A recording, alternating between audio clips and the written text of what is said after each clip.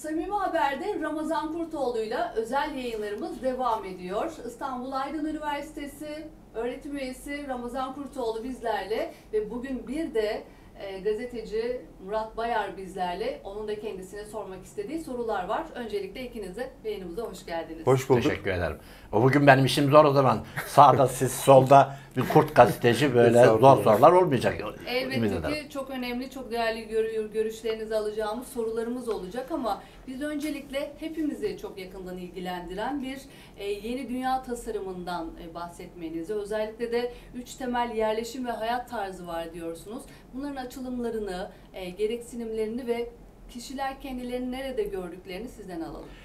Ben de teşekkür ederim. Öncelikle e, güzel bir sual. Ben Twitter'da takip ediyorsunuz zaten. E, bir tweet atmıştım. Yeni dünya tasarımının üç temel yerleşim ve hayat tarzı var. E, bir, mega kentler, köleler, fakir ve evrensel gelir maaşlı kitleler, geniş kitleler. İki, akıllı kentler işte smart e, city falan dedikleri akıllı kentler elitokrasinin bu küresel güç sahiplerinin akıl küpü ama ruhsuz yönetici ve teknik hizmetçileri olan bu kesim beyaz yakalı dediğimiz e, kesim. Bir de e, üçüncüsü tarihi öğren alanları, kırsal, e, orta ve üst sınıf ile üst gelir grubu. Bir de bunun tabi bir dostumdan da esinlendiğim bir şey var. Türkiye'nin yetiştirdiği e, en iyi mimarlardan birinin çok güzel bir sözü var. O diyor ki bu saatten sonra mega kentlerden ev almak enayilik, köy ve kasabalardaki evini toprağını satmak daha büyük bir enayiliktir. Mega kentler açık hapishaneler gibi. Efendim ne demek istiyoruz? Evet ne demek istiyor? ne demek istiyoruz? Şimdi e, malum biliyorsunuz 2020'de dünyayı 2020-21'de kasıp kavuran bu e, Covid-19 sürecinde aslında ipuçları var.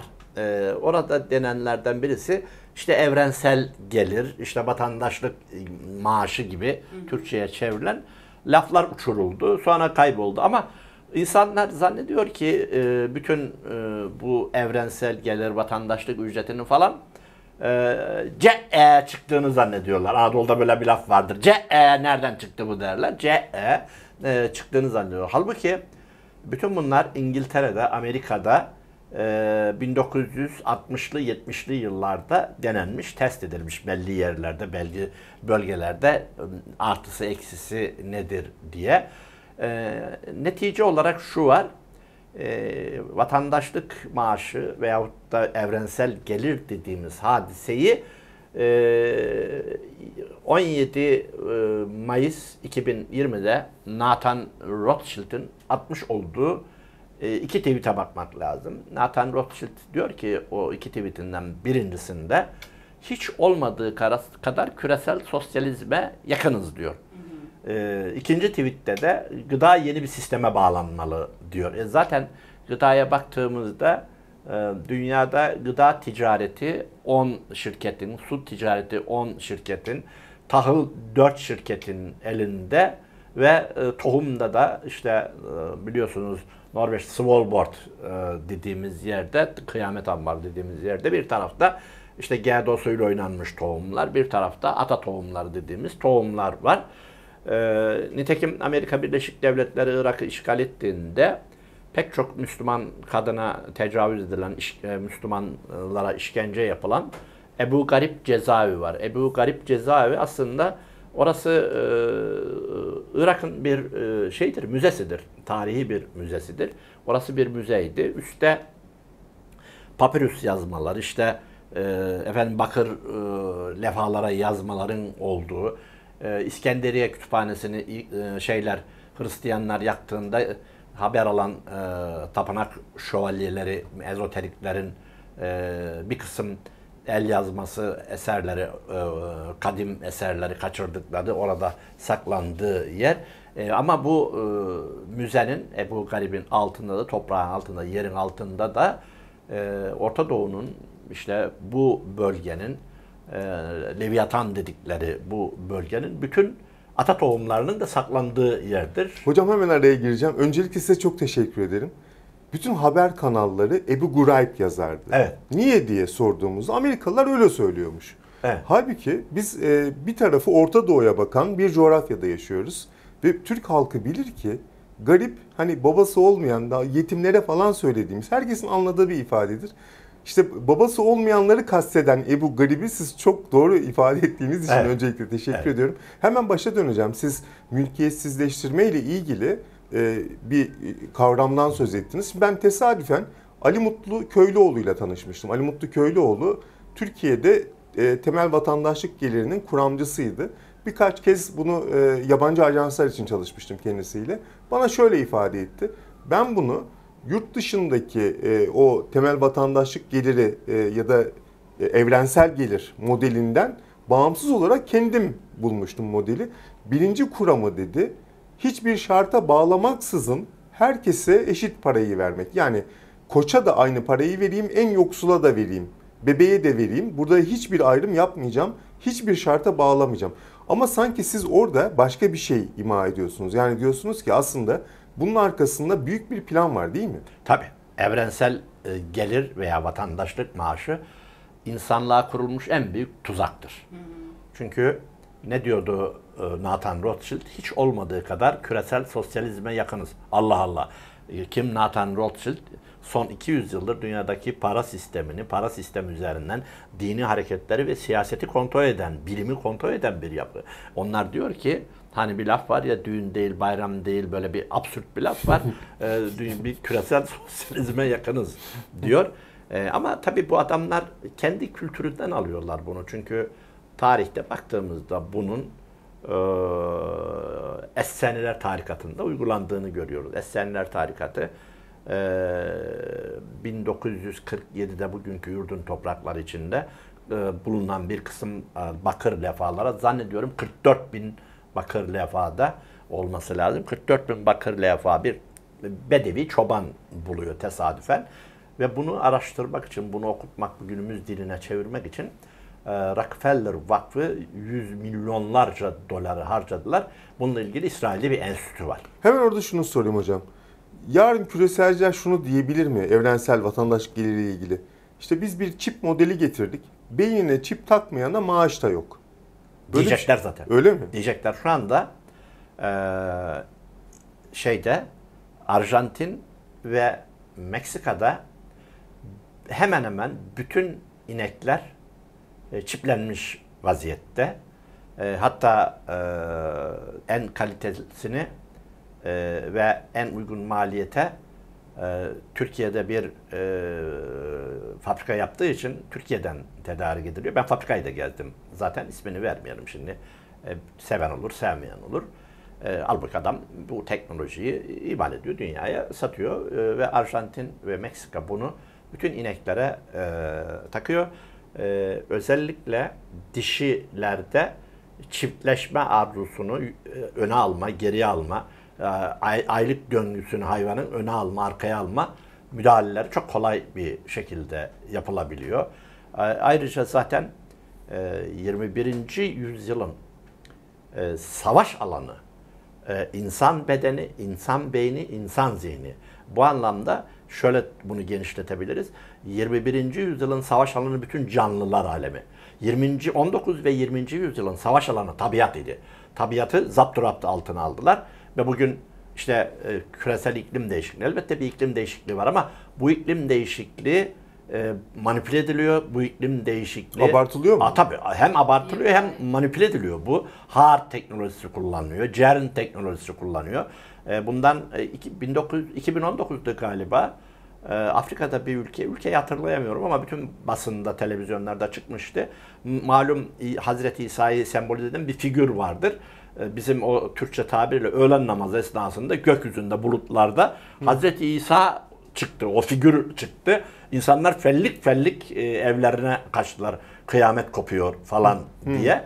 E, Çünkü e, artık bu hologram teknolojisiyle hologram teknolojisiyle Mesih bekleyenlere, Mehdi bekleyenlere, ti niyetine, zihniyetine göre alın kardeşim bu sizin beklediğiniz İsa Mesih, alın bu sizin kardeşim İran'ın beklediği 12 kayıp 12. imam Mehdi, bizim bir kısım Sünni Müslüman tarikat ve cemaatlerinde beklediği efendim Mehdi ve Hazreti İsa. Bu da sizin Mehdi'niz ve İsa e, Mesih'iniz diyecekler, çakacaklar. Bu, bu teknoloji var. Yani bu aynı anda bütün dünyaya bunu yansıtmaları mümkün. E, çünkü e, yapılan bütün çalışmaların temeli parayı kontrol, inancı kontrol, gıdayı kontrol. E, bütün buna baktığımızda e, bir diğer taraftan da elektromanyetik sistemler. Elektromanyetik sistemler işte zaten cep telefonu atom bombasından daha tehlikeli, harp, aynı şekilde kullanılan, CERN aynı şekilde kullanılan bir hadise. İşte bu bağlamda ne, neyi tasarlıyorlar adamlar? E, adamlar şu var. E, büyük e, mega kentler boşuna kurulmadı. Ama artık ilim, bilim gösteriyor ki mega kentler insanın ruhunu öldürüyor. Mega kentler sürekli yatırım gerektiren bir kısır döngü şehirleri. Sürekli. E bakın İsta- koca İstanbul'umuza bakın yani 16-17 milyon şehir sürekli yatırmıyor. Yani sürekli e, milletin verdiği vergilerden, bütçeden, merkezi bütçeden, belediyenin parasından sürekli yiyor. Bu sadece Türkiye'de değil. Amerika'da da böyle e, sürekli bir harcama e, getiriyor ve bu harcama da giderek tırmanıyor. Bir başka şey bu mega kentler niye kuruldu? Kitleleri çok kolay kontrol etmek için. İşte şimdi bir taraftan e, 1980'de e, Albert'in, e, Amerika'nın e, Albert'in kasabasına Atlanta civarında diktikleri işte devasa altı sütun oradaki The Georgia Guidestone efendim e, rehber taşı gibi Türkçe'ye çevireceğimiz. Orada yazıyor zaten 12 dilde 4 ölü 8'i yaşayan dil. Ee, tabii 12 12 İsrailoğullarına atıf mı bilemem. Onu dinleyiciler kendileri karar versin. Orada 10 emir var. 10 emir de Musa'nın 10 emri mi? Onu da bilemem. Onu da herkes kendisi yorumlasın ama ben 10 emrin üçünü söyleyeyim. Bir, dünya nüfusunu 500 milyona indirin. İki, din, gelenek, görenekleri bütün bum yapın. Ondan sonra üç, e, merkezi bir adalet sistemi kurun ki Hollandalı bir e, sosyolog e, ve e, şeydir, ünlü Amerikalı e, bir gelecek bilimci vardı. Michael Moore. E, yok.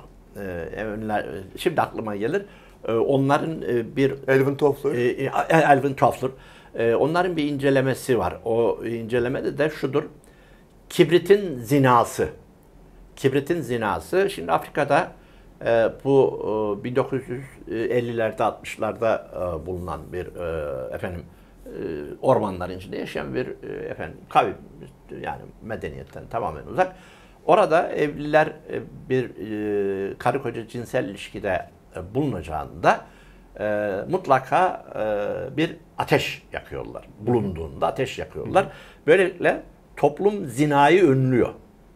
Yani zina yapmak mümkün değil. Çünkü siz ateşi e, eşinizle birlikte olacağınızda komşu çadırdan, e, kulübeden bir yanan odun alıyorsunuz, koyuyorsunuz. Efendim e, cinsi ilişkiden sonra bu alev alıyor, yakıyorsunuz. Ama kibrit bulunduktan sonra birinden sizin ateş almanıza gerek yok. Artık kimin karısıyla beraber olduğu, kimin zina ettiği belli olmuyor. Bir bütün toplumun geleneklerini patlatıyor bu. Evet. Bunun makalesini de yazdım. Bir- Birkaç gün içinde yazıp size atacağım. Şok bir konu yani. Evet. Ondan sonra işte şimdi de artık sosyal medyanın yarattığı bir zina var. Gıdanın yarattığı bir zina var. Oradan oraya geçiyorsunuz. Tabii. Anladım. Evet. Evet, o- oradan oraya efendim sinema ve televizyonun yarattığı bir zina var. Niye nasıl bir zina var? Şimdi Yaygınlaşma o kadar fazla ki yani Tabii. etkileşim Tabii. olabiliyor. Tabii çünkü teknoloji sadece teknoloji değildir. Teknoloji gelenekleri, mitoloji, inançları yıkıyor. Zaten onun üzerinden saldırıyorlar. İşte biraz önce Hazreti İsa figüründen tut, Mesih Mehdi meselesine kadar bütün bunlar ustaca kullanılıyor. İşte burada da e, o sosyologlar inceliyor. Kibritin zinasından ben makaleyi yazdım zaten de bilgisayarda e, asistanıma verdim. O yazacak benim o maharetlerim çok iyi değildir.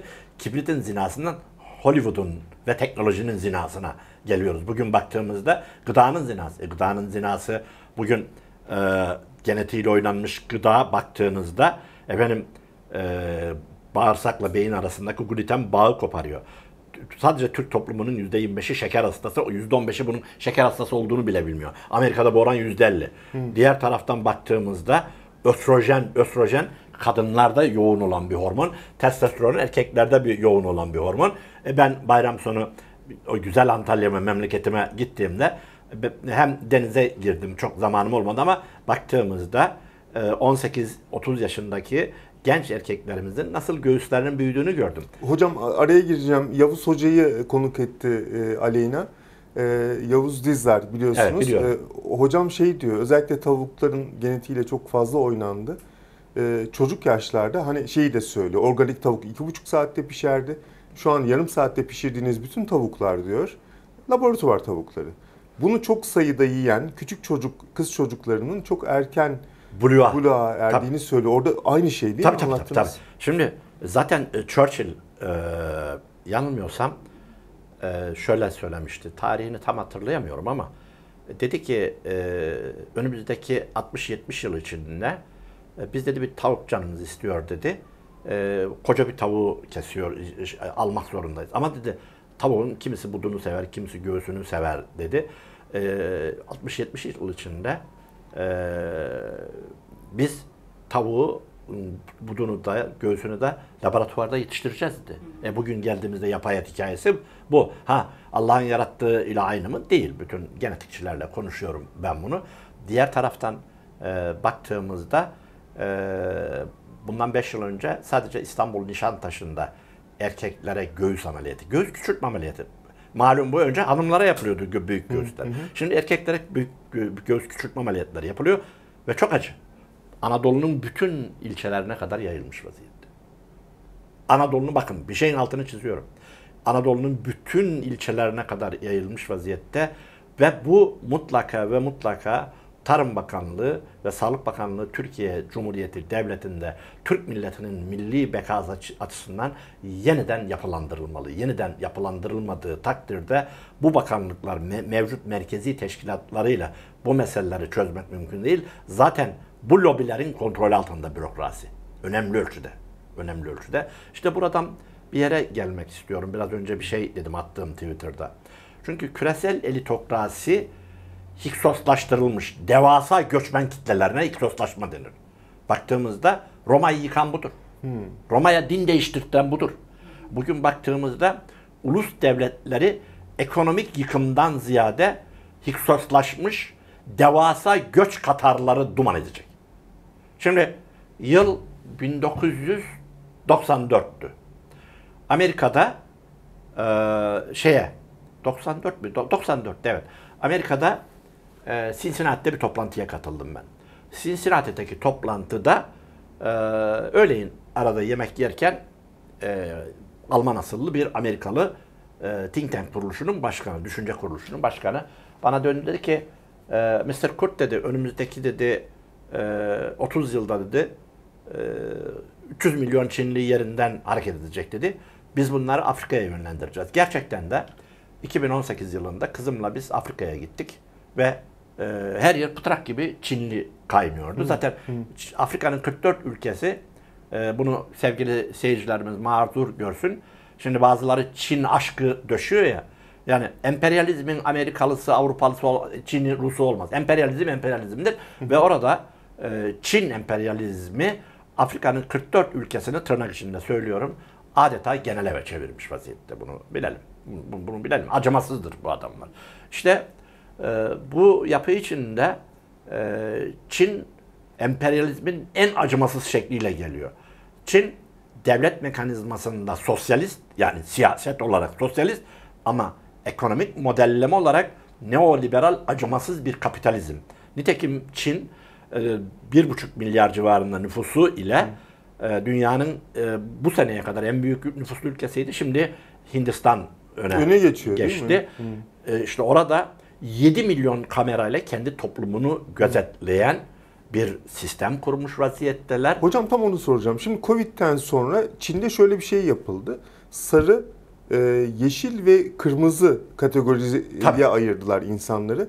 Kırmızı olanlar çok kısıtlı alanlara geçerken sarı olanlar sadece belli alanlara gidebiliyordu. Ancak yeşil kategoride iseniz tüm ülkede hareket izniniz var. Bu dünyaya yayılıyor Tabii mu? dünya tasa yani bu özellikle e, bu deneme yani e, şirket sosyalizmi diyorum ben buna. E, Esenler tarikatından, Esenler tarikatında mülkiyetsizdir. Bütün bu vatandaşlık ücreti falan filan bunlar mülkiyetsizleştirme operasyonudur. Niye şehirlerde durduktan du- durup dururken e, ev fiyatları bum yaptı? Niye? Niye yaptı? Şimdi aşağıya böyle çekiliyor. Çünkü e, önce orta halliyi zaten garibanın alma hali yok. Orta halliyi de alamaz hale getirdiler. Üçgenin tepesine doğru ittiler. Şimdi e, Berlin'de Berlin'de 2021'in sonunda bir batında 30 bin daire kamulaştırıldı. İşte yavaş yavaş e, bir elit yapının elinde toplanan büyük şehirlerdeki binaydı, bunaydı. Efendim e, bunlar için para çok önemli değil zaten. Paranın sahibi bu adamlar. E, baktığınızda buralarda buralarda garip kuraba, vatandaşlık ücretiyle olanların bedavaya oturduğu, efendim günde 16 saat işte e, Çalıştırı- çalıştırılan köle izavra diye bir, bir diziler var ya, köle izavralaştırılmış bir yapının ki e, ünlü Rus e, e, yazar Dostoyevski'nin Karamazov kardeşler vardır. Karamazov kardeşlerinin hiç olmazsa vakti olmayanlar içinde Engizisyoncu kardinal bölümü vardır. Engizisyoncu kardinalde Engizisyoncu kardinal Hazreti İsa'ya Hristiyanlığı öğretir. Çok ilginç. Evet. Engizisyoncu kardinal Hazreti İsa'ya dini öğretir ve orada çok dehşet bir replik vardır. Evet. Replik şudur. İnsanın insanların ekmeğini verenler insanların hürriyetlerinin sınırını tayin ederler. Para almaya alışan emir almaya da alışır. Tabii. Yani bugün baktığımızda işte bu bağlamda o, o mega kentler artık insanı boğan, zaten bir kısır döngüye girmiş olan bir yapı içinde e, fakir fukaranın tutulduğu şeylerin köleleştirilmiş yapının tutulduğu kontrolü kolay, e, kolay olan bloklar. Siz söze şöyle girdiniz zaten. Dediniz ki artık mega kentte ev almak akıl kârı değil. Tabii. Küçük yerde de satmak akıl kârı Akıl değil. kârı değil. Evet. Ne- bu ne- orijinal sözün lafı Türkiye'nin en iyi mimarlarından birinin lafıdır. Bu Amerika'da zaten şimdi Bill Gates niye yüz binlerce dönüm arazi alıyor? Niye e, e, şeyin e, Tesla'nın patronu bütün e, Elon Musk. e, bi- binalarını sattı da tarla alıyor. İşte burada ben tekrar söylüyorum. Kasabadaki, köydeki, o küçücük yerlerdeki evlerinizi, küçücük yerlerdeki tarlalarınızı falan satmayın. Enayili gidip de büyük şehre gelip, mega kentte gelip arsa falan almayın. Bunların hepsi. Şu anda Türkiye'de şeyler hızla bina fiyatları aşağıya geliyor. Amerika'da %30 geldi. Hollanda'da %30 geldi. Bizde de başladı. Niye bize Gel- düşüyor şu anda? Efendim? Bir Düşme nedeni ne peki? Çünkü ekonomik krizin en iyi tetikleyicisi ev fiyatlarının tepe taklak olmasıdır. Hmm. 2008 krizine bakın. Peki şeyi soracağım. Ee, 2030'a doğru artık organik tarımın öne çıktığı, hatta küçücük bir toprakta ekim yapanların çok kıymetli olduğu bir döneme geçeceğiz. diyoruz. Tekrar söyleyeyim. 500 metrekare bile olsa 500 metrekare bile olsa toprak alın bir yerlerde içine bir tane kulübe yapın. Aksi takdirde şehirlerde binadan başka bir şeyi olmayanlara hayat hakkı yok. Hayat hakkı yok. İşte 2030'a ki bu bir Şemitah döngüsüdür. Süper Şemitah vardır, Şemitah vardır. Yüzyıllardır gelir bu. Sümer, Süper Şemitah'ın başlangıcı bu dönem için 2 Ekim 2016'dır. 2 Ekim 2016'da başlayan Süper Şemitah, Yahudi Kabalist döngüdür bu. Bu döngünün birinci Şemitahı 2023'tür, ikinci Şemitahı 2030'dur. Genellikle iki Şemitah'ta bu Süper Şemitah'ın hedeflerini tamamlarlar. Geriye bakın 1971-78 o dönemlere bakın. Aynı Şemitah döngülerle. Süper Şemitahlar 49 yılda bir döngüdür. Diğerleri 7 yılda bir döngüdür. Onun için yani 7 kere 7 49. 49 yılda bir süper Şemitah, 7 yılda bir Şemitah. İşte burada e, metro, mega kentlerde fakirleştirilmiş, köleleştirilmiş, 16 saat çalışılan, e, çiplenmiş, e, efendim e, karısıyla bile cinsel ilişkisinin e, merkeze bağlı olduğu, çocuk yapma izinlerinin hemen hemen olmadığı, çünkü zaten çiplediği zaman kadının o mutat döngüsünü bozuyorlar. Yani e, hamile kalması mümkün değil. Çünkü ineklerde deniyorlar bunu, denediler bunu. Diğer taraftan akıllı şehirler. Akıllı şehirler bu mega kentlere yakın olabilir, uzak olabilir. Şimdi sonuncusunu Su- Suudi Arabistan'da Neo diye kuruyor. Bu Suudiler aptalın teki. E, Onlara paraları gömdürecekler. Orada zaten Kabala için de Neo, o Neo'nun yapıldığı yer kutsal bir yerdir. Tabi Suudilerden kastım devlet yönetimini söylüyorum. Halka bir sözüm falan yok. Zaten devlet yönetimi tamamen bunların kontrol altında ama aptal aptal işler yapıyorlar. Şimdi e, oralarda da elitokrasinin istediği akıl küpü, keskin zekalı ama onların dediğinin dışına çıkmayacak. E şimdi e, Amerika'da ve Batı'da şöyle bir şey vardır. E, eskiden e, Amerika'da şöyle I am a citizen of United States. Ben bir Amerikan vatandaşıyım. Hayır. I am a citizen of Microsoft. Ben Microsoft, Microsoft vatandaşıyım. Şirketlerin dönemi. Tabii. Tabii bu, bu buraya doğru ittiriyorlar. Ee, işte bu e, akıllı kentlerde de elitokrasinin eden o güç simsarlarının emrinde olan e, kızlar, erkekler bunların birlikte yaşadığı bir düzen. Gelelim peki orta üst ve üst gelir grupları. Bunlar ise tarihi öğren yerlerinde, öğren yerlerine yakın ve kırsalda. Niye tarihi öğren yerleri yakın? Çünkü binlerce, yüz, bin- yıl, yüz binlerce yıldır tarihi öğren yerleri hayatın devamlılığına uygun yerlerdir. Hocam bu arada son 3 dakikaya girmişiz. Ee, Evet. Öyle bir işaret geldi. Evet, evet. Ee, sorarsanız Evet. işte o açıdan baktığımızda e, şunu toparlarsak e, bir kere bu saatten sonra mega kentlerden ev almayın. Efendim köyünüzdeki toprağınızı satmayın, kasabanızdaki evinizi satmayın ama 500 metrekarede olsa değiş tokuş üzerine. Şunu bak iddia değil, olmayacak demiyorum. Yüzde 1 milyon olacak. 2025'ten itibaren paramız olsa da her gıdayı bulamayacağız. 2030'a doğru giderken yapay iklim modifikasyonları ha, Amerikan Hava Kuvvetleri'nin bu 1998'den beri programıdır. Yapay kıtlıklarla, yapay susuzluklar ile e hoş geldin e, biyoteknoloji ile e, bir dozu bir dozu 29 bin lira olan ilaçlar var. Tedavici. Önleyici tıbbın anasını ağlattılar. Tedavi edici tıplarla. Efendim şu anda prostat rahim kanserlerinde kullanılan bir dozu 2000-3000 dolar olan preparatlar e, şeyler var. Kaç kişi alabilir? Hangi devlet bunun altından kalkabilir? Kalkamaz. Zaten ismini söylemeyeyim. Amerikalı dünya devi bir ilaç firmasının CEO'su şöyle söylemişti. Bundan 20 yıl önce. Önümüzdeki dönemde ciklet satar gibi ilaç satmak istiyoruz. çok iyiydi. Peki Çok hocam. önemli evet, Evet. Hatta yani hani dediniz ya e, şu an bir site sistemi var. Burada eviniz olsa dahi orada bir aidat sistemi var. Yılda bir kere aidat varken şimdi 6 ayda bir aidata dönüştü. E, oradan da e, halkalar halinde, dalgalar halinde bakacak olursak bir tekerleşme süreci var ve bu tekerleşme süreci hepimiz aslında aynı yere e, çalışıyoruz. Şöyle söyleyeyim Aleyna Hanım. Deyince köleleş hepimizin aslında Tabii. köleleştiğini Ee, ifade ediyor. hayvan inekler kurba şey büyük çiftliklere mezbahalara yönlendirirken turnikeye yönlendirir. Öndeki turnike de git turnikeye atar, tıkırt atar giyotenin altına tıkırt atar gider. Herkes turnikede. Çok daha geniş planlı görmek, bakmak Evet. gerekiyor. Hepimizin daha çok okuyor olması ve bilinçli olması gerekiyor bu anlamda. Çok teşekkür ederim. Rica ederim, Ayağınıza rica ederim. sağlık, ağzınıza sağlık. Murat Bayar size de. Teşekkür ederiz biz de. Sağ olun. Ramazan Kurtoğlu bizlerleydi. Bir sonraki programda yeniden görüşmek dileğiyle. Hoşçakalın.